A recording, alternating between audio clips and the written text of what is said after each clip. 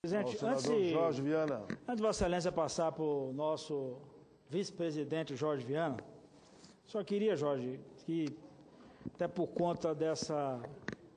Nós vamos juntos ali para a reforma política, que só queria fazer três registros aqui rápidos, Jorge, como uma questão importante. Um é que diversos servidores, inclusive do Judiciário, têm nos abordado acerca de um documento para solicitar a presidenta que não verte a matéria.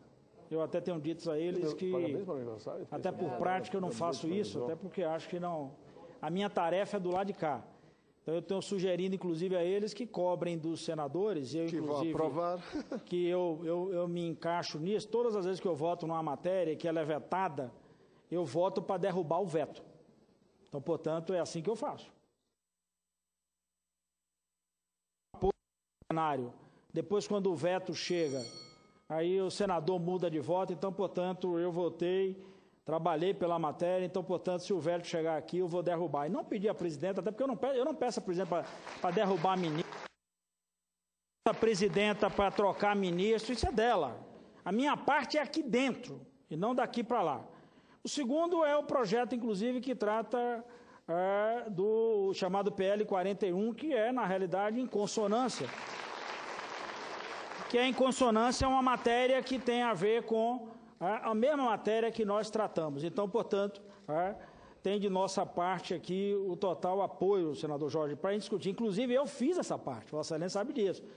Procurei a cúpula do Supremo, do Supremo Tribunal Federal, fiz isso muito antes, como também essa semana, logo após a votação da matéria, é, procurei, inclusive, até o líder do governo e procurei a cúpula da PGR, para dizer que eu queria ajudar na construção, até pela minha habilidade nessa área. Fiz isso a vida inteira. Então, portanto, não estou falando de algo é, que tem, não tem a ver com a minha atuação parlamentar nessa casa, desde que cheguei como deputado. Então, manter a minha coerência. É, acho que a estruturação do serviço público é fundamental, Paulo Paim, principalmente para os pobres desse país. Não existe serviço, não existe serviço público para rico, serviço público é para pobre.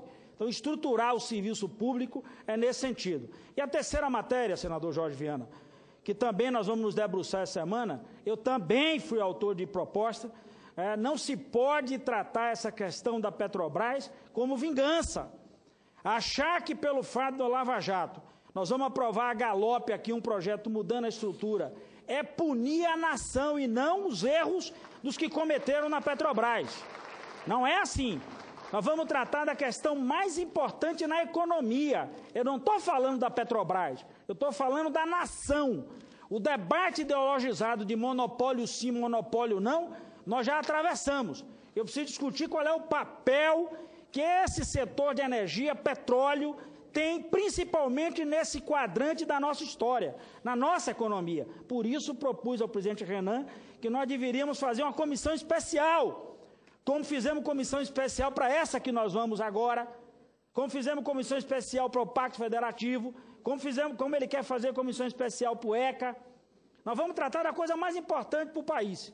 Né? Então é importante isso, Paulo Paim, e óbvio, a nossa trincheira em relação à questão da MP, que trata principalmente do debate sobre a correção das aposentadorias nesse país. Era isso, senador Jardim. Muito obrigado.